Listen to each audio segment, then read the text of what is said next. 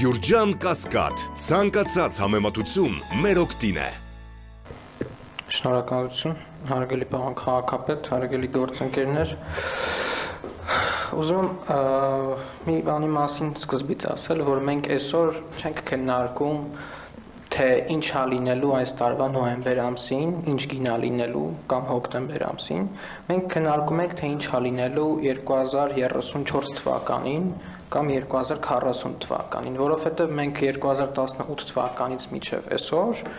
տարապում ենք այն հարցի շուրջ, թե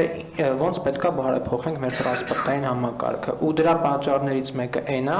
որ մեր նախ, նախորդող քաղաքային իշխանությունը այդ հարցին այդ հարցով պարզապես չէր զբաղվել եւ թողել էր այդ գծատերեր հասկացությունը եւ նաեւ ուզում եմ ֆիքսել որ սա թանկացում չի ինչքան էլ մենք դա դա փորձեք անվանել թանկացում որովհետեւ այդ ձայնագրությունը շատ լավ արեցիք որ միացրեցիք որովհետեւ երբ որ հացի օրինակ հացի օրինակի վրա եք չէ բերում կամ օրինակ այս միկրոֆոնը արժի օրինակ 100 դրամ բայց մեզ պետք է ավելի լավ միկրոֆոն ավելի մեծ միկրոֆոն որը արժի 150 դրամ Մենք ձեռք ենք բերում այդ նոր կամ, չգիտեմ, 130 դրամ կամ 180 դրամ, պայմանական ավելի շատ։ Մենք ձեռք ենք բերում այդ նոր միկրոֆոնը,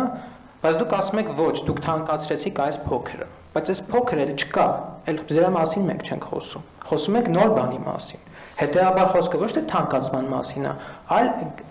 բալանսավորման այն ապրանքի, որը որ պետքա սպասարկվի եւ որը որ պետքա ծառայություն մատուցվի։ Հաջորդը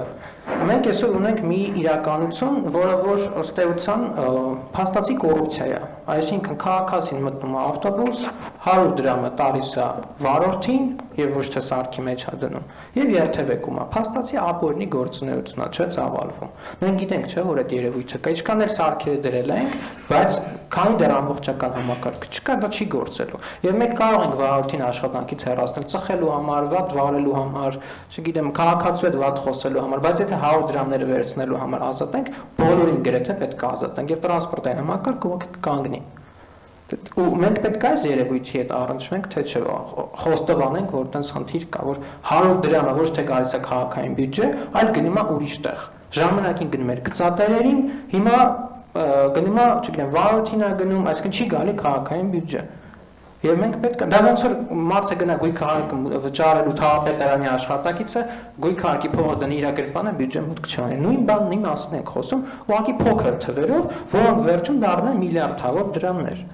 Եվ երբ որ ասում եք 3 միլիարդը կամ 7 միլիարդը ինչի չեք սուբսիդավորում, քիչ թիվ եք ասում իրականը, որովհետև շուտով մենք ունենալու ենք 170 նոր ավտոբուսներ, հետո պատրաստում ենք ձեռք բերել էլի ավտոբուսներ ու այդ 7 միլիարդը դառնալու է 15 միլիարդ կամ ավելի։ Այսինքն մենք հետոյի մասներ պետք է մտածենք, պետք չի նայել թե այսօր ինչքան թիվ է,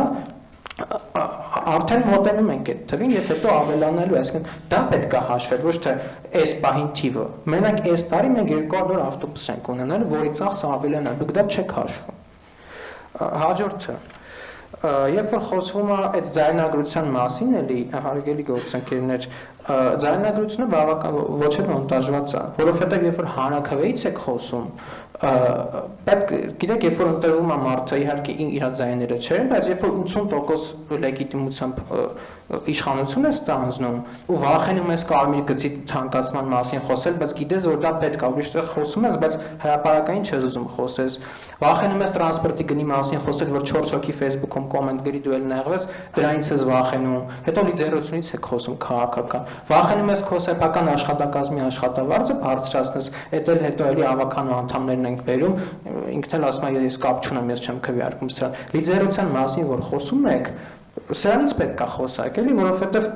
այդ որոշումների մասին դեռ 18 թվականից է քննարկվել, որոնք որ մենք հիմա ենք անում, որովհետեւ մարդիկ մեզ չեն ընտրում, որ մենք կանք այդ բարդ որոշումները դնենք հանրակրվեի, ասենք դե ժողովուրդը սենց ուզեց, մենք ինչ կապ ունենք, բա իշխանությունը դրա համար է, որ պատասխանատվությունը ստանձնի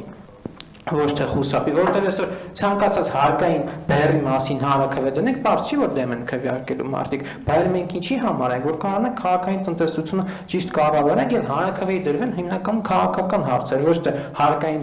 հարցը դրվի հարակվեի, հետո ասենք դե գիտեք քաղաքային տնտեսությունը դուժեց, մենք ինչ կապ ունենք, բայց մեզ ընտրել են հենց դրա համար, որ մենք բյուջեն նայենք, հասկանանք որտեղից կարող ենք այդ ուղղությունները տալ ֆինանսական, որ քաղաքային տնտեսությունը չդուժի։ Եվ երբ որ մի փոքր կգերազանցեմ ներողություն խնդրում, երբ որ ասում եք մենք դեմ ենք թանկացմանը, դուք նույնիսկ որ շատ ուզենաք, ոչ թե թանկացումը գնի ծախսի ավելացմանը, դուք որ շատ ուզենաք, չեք կարող դեմ լինել։ Գիտեք ինչի, որովհետև այդ ծախսը ուզենք թե չուզենք, ավելանալու է, ուզենք թե չուզենք, որովհետև թե ավտոբուս ենք ավելացնում, ծախսն էլ է ավելանում, չէ՞։ Հետևաբար դա միտեղից պետքա փակվի։ Եթե մենք ասում ենք քաղաքացու գրպանից, այսպես ասած, ձեր լեզվով ասած, չենք վերցնում, քաղաքային բյուջեից ենք վերցնում, որը էլի քաղաքացին է ձևավորում։ Այսինքն դուք մարդկանց, որ ասում եք մենք դեմ ենք, դուք իրականում մանիպուլացնում եք այդ մարդկանց։ Դուք դեմ եք ոչ թե ուղակի ստեղից վերցվի, այլ ընդդեղից, երկուսն էլ քաղաքացումն է։ Տես չի լինի, որ այսինքն իրականում տես ուներ մենք էլ ենք դեմ։ Մեզ մեր անձամբ ինձ ինչին է պետք որ տրանսպորտան, ինձ դրանից ինչ, կամ Սուրեն Գրիգորյանին դրանից ինչ, կամ քաղաքապետին ինչ։ Անձամբ մեզ դե, հավես լավ չենք խոսա կասեն դե լավ մեր ռեյտինգին խփող որոշումա հանգիստ նստենք ջանդամը թե 10 տարի հետո ինչ կլինի ամփոփ է շնորհակալություն շնորհակալություն